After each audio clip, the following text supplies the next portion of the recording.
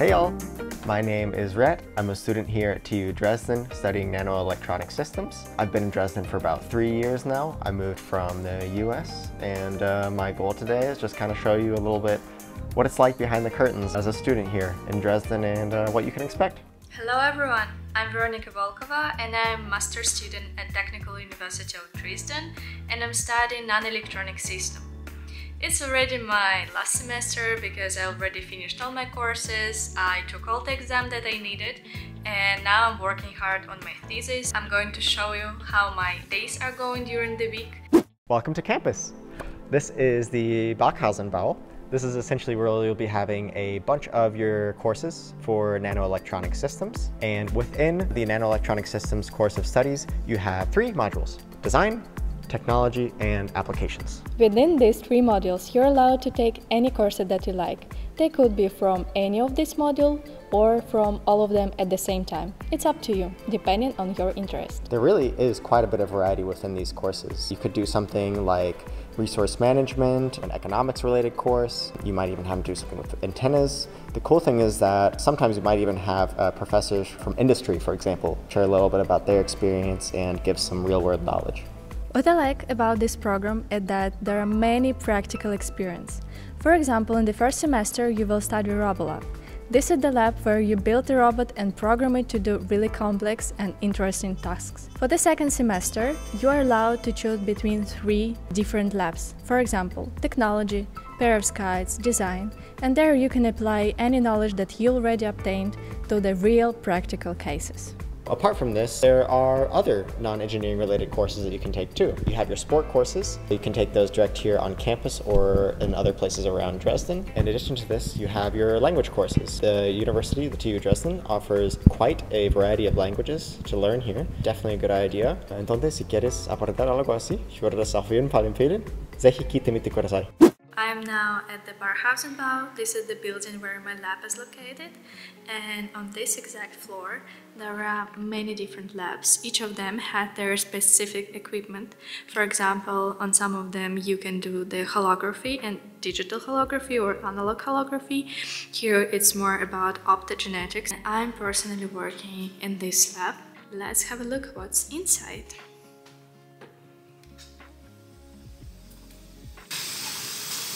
So, welcome to the lab where I'm writing my thesis and doing all the experiments that are related to the investigation of the fibers for endoscopy. Here you can see two tables. They're built in a special way. They're non-vibrating, so they don't interrupt all your measurements because it's super important when you build an optical setup. Usually four people using it at the same time, so it's separated into two parts and every part also connected to its own computer. And for example, for my setup, which I'm gonna show you a bit later, I have three monitors because sometimes I'm using three cameras and I want to see the pictures from all of them at the same time so I can do really tricky and complex experiments for my thesis. Let's have a quick look at the optical setup that I built myself for some experiments. Here is the laser source, which is separated with the beam splitter into two. So when you have some object put right here, you can see the interference pattern that should be shooted here with the, um, the camera. Also here you can see the facet image uh, by the camera and usually I install here also the third camera, as I told you, to have a look at all the size of the fiber that I'm working with. Because I like everything to be organized, here I have two boxes. They're labeled with my name and also with a short notice, please don't touch because it's super important for my experiments for master degree. These are my fibers. They're really fragile, let's say, um, but still quite stable. They have amazing, amazing property that can be applied for endoscopes, which is quite interesting and maybe one day we're gonna see cool endoscopes that are less invasive and can track cancer really fast. Dresden has a lot to offer in terms of living. I'm living in a WG, a Wohngemeinschaft, which is essentially just like a shared apartment between like-minded people. We seem to get along pretty well and it's a really great uh, situation. Good way to get to know people and to, I don't know, live with other students. So within our WG, we've got, of course, the necessities. We've got a kitchen. We end up cooking here a lot together. A little entryway. Everyone has their own rooms. Little entry into my room here you know, trying to make the most of the space that we have. Whenever you end up getting hungry on campus, you have a few options. We have our dining halls, our canteens, or the Germans might call it the Mensen. We have, for example, here the Alte Mensa. That's a great place to go grab a bite to eat. There's a lot of uh, delicious food options there.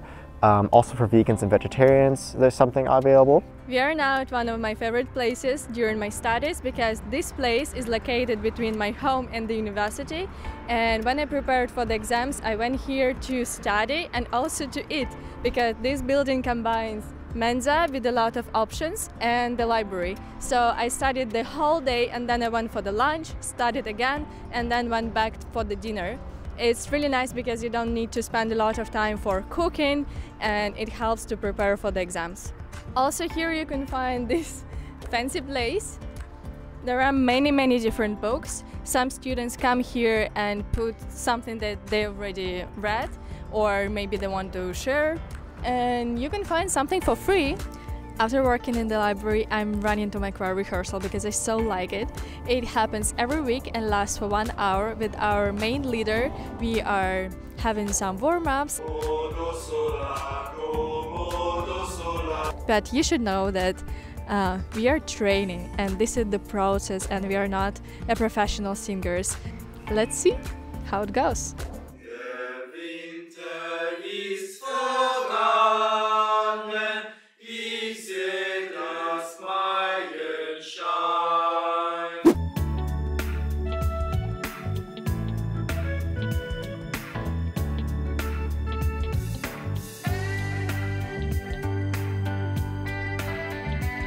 Next on the list for today, I'll be going to a friend's house and we'll be playing a few board games.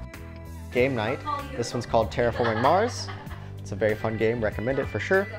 And the friends over there are playing one called Cascadia. Also very fun. I'm already back home and today I plan to do the cinema evening with my friends. And for this I'm gonna cook the strawberry in chocolate and some popcorn.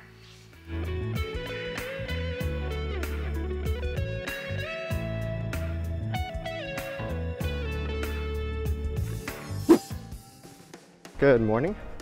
It's still snowing today. Gonna see if I can try to catch the train in time to get to work. Should be arriving here shortly.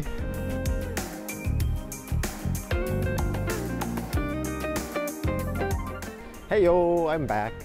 Off of work now, so I had a little bit of an early Feierabend.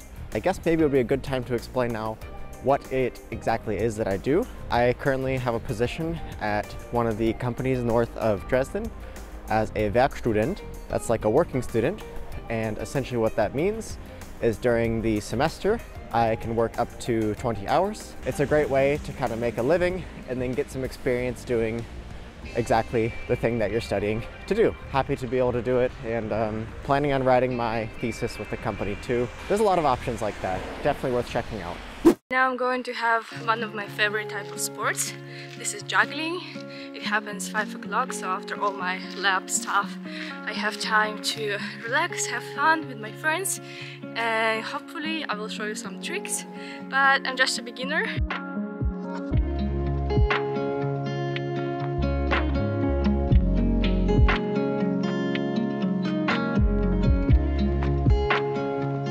What I love about this class is that we have balls, pins, yo-yo, and also Hui.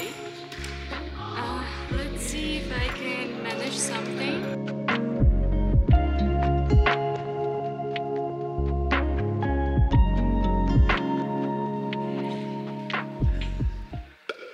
In addition to many activities that we already mentioned, there are many events from the university. For example, you can go to musical festivals, sport weeks, and some other cultural events. The career services from the university offer you many opportunities to go to the workshops, to have some excursions to many companies, and also get in touch to your future career path. Sometimes during the examination period, all the libraries are full, but in the universities you can find many other places like this one to study with your classmates. Got a volleyball match tonight.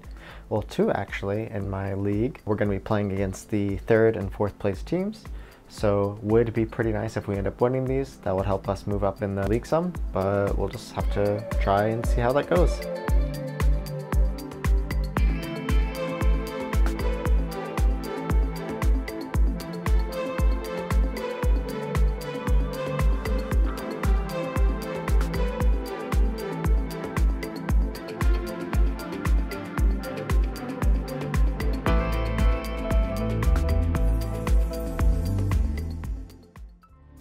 That's it for our vlog and I hope we were able to give you some little impression about our living and studying here in Dresden.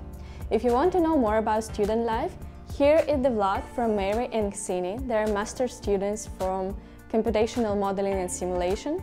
And here is another video about TU Dresden. If you don't want to miss some other new videos, click the bell, subscribe the channel and goodbye.